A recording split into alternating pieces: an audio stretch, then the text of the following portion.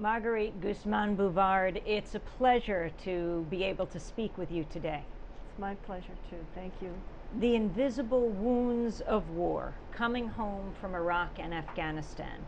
And what a time to talk about this, what a relevant time.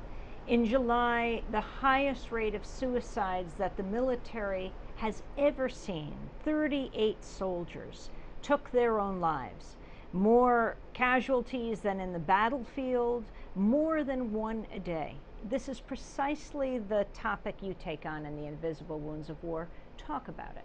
Well, first of all, um, only 1% of our population over 18 is in an army, and it's a volunteer army, which means they don't have enough soldiers, they're stretched thin, they're, they have too many deployments. Usually you need two years between deployments. Some of them get a year, nine months, at the most, you know, even less. So they keep going back. And they redeploy when soldiers are having um, problems with combat stress. They redeploy. You know, it's interesting. One of the trends they found is that increasingly older soldiers are taking their own lives. And we're not even talking about veterans right now. Well, I'll tell you why. Because since it's a volunteer army, since we're stretched so thin, they are calling upon the National Guard. Okay, now the National Guard they have civilian jobs, they have children and wives, their child may be in high school. Boom, you get, instead of going once a month to do what you do and take care of the problems in the United States, you're being deployed to Afghanistan now, or were deployed to Iraq when, and so they are less prepared for what they see.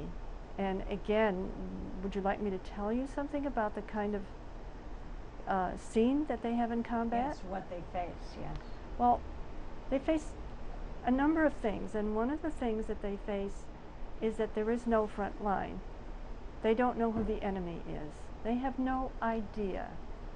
And um, they may be in a crowd where people are standing together talking, and okay, they're speaking in another language, and they say one thing, and they'll tell us, We're so glad you're here to help us and the other language is something else. And all of a sudden, boom, it's the person in the crowd, may even be a child that you least expect. So that's one. There's a language problem. Again, another issue of the language problem is a car drives by and a soldier on patrol says, stop. Well, do you understand stop in Arabic? No. So the car goes on, the soldier, as is required of him, shoots through the car window, opens the door, finds a woman and a couple of kids dead, and starts to cry. How do you feel? Guilty? Miserable? Uh, so that's one side is you don't know who the enemy is, where he is, because they not only have improvised explosive devices, but they have something called houseborne um, improvised explosive devices. And so you may be in a house, um, searching a house, and boom. And there's one buddy carrying another one down the stairs, dead with blood running down his back. Very stressful. Very stressful. Marguerite, you talk about one young man named Noah Pierce. Noah, Noah Charles Pierce. Talk about Noah Charles Pierce's story, why you got so involved with his case. Uh, I'm a writer. I sometimes write short stories as well as poems. And um, I had a, a story in a, in a magazine, and I see a couple of poems by a soldier who committed suicide, and I looked, I, it just blew me away. A soldier is committing suicide. And I thought about it, and I asked the editor, could you put me in touch with his mother? And he said, not really, it's privacy. I said, please. Well, I finally got in touch with what was his stepmother, who put me in touch with his real mother, and I called her. We talked a lot. She did a lot of crying. She's a wonderful woman, wonderful woman. So I decided to write an article about her. after I wrote the article, I was really unnerved by thinking of a young man who had done a wonderful job as a soldier. Two tours of duty in a row. To- yes, committing suicide, and I said, This is not right. I want to know more. So I began doing a lot of research, decided, because one of my passions in writing is human rights, and for me, this is a human rights book. So I started uh, doing a tremendous amount of research on both wars in Iraq and Afghanistan, and also on our veterans and their families, because who thinks of Cheryl, Noah's mother, and how she feels right now? You know? She said, I died too, in a way, she did. And then she talked about the way Noah came back, and Noah had 30 to 90 days in which he could get help. What did they give him? Sleeping pills. You give a young man sleeping pills who is under tremendous stress, has nightmares, hallucinations, and how difficult it is to come back from a war situation where you're working 24 7, you don't sleep well, you keep hearing the IEDs and the EFPs, explosively formed projectiles, or the RPGs, uh, and, and uh, rocket propelled uh, grenades um, all the time, and you keep seeing dead bodies.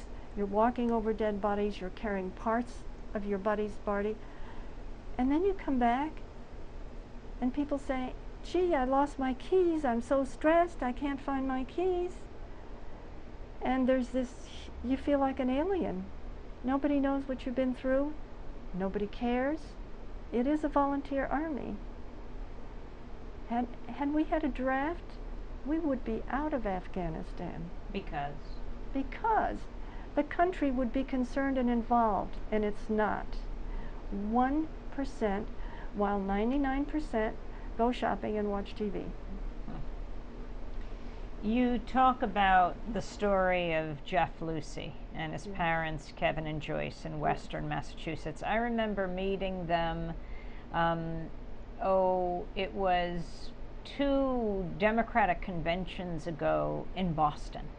Uh, that's when they first, right around the time that they first lost their son, because he didn't commit suicide on the battlefield of Iraq or Afghanistan, but when he came home. That's a whole other issue is when veterans come home. Um, they have to readjust. They miss their buddies. They come home numb because you have to be working constantly in combat. You can never allow yourself any time. And is there any time for mourning? One vet told me that they had so many fatalities that instead of having a service every time, it was Tuesdays and Fridays with a bunch of. So you're numb and you don't have time to mourn when you lose a buddy or time to feel terrible when you've seen children, dead bodies of children, or a time to feel anger. And for me, there's a tremendous um, intertwining of anger and grief, which people don't realize. And if you're in the military culture, anger is more uh, acceptable than sorrow. You're not supposed to feel sad. We don't even have the word sadness in our, you get depressed, but sadness? Um, so here comes this young man, Jeff, changed. He's not the Jeff he used to be. His parents don't understand.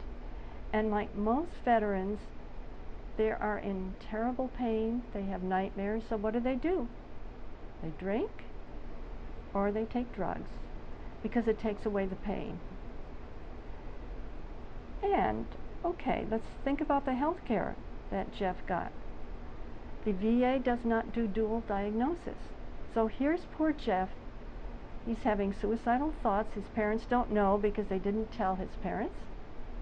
And because he was heavy on alcohol, he was drinking a lot of beer. We can't treat you. We can't do a dual. They didn't say we don't do a dual no- diagnosis. He said when he gets off alcohol, then we can treat him.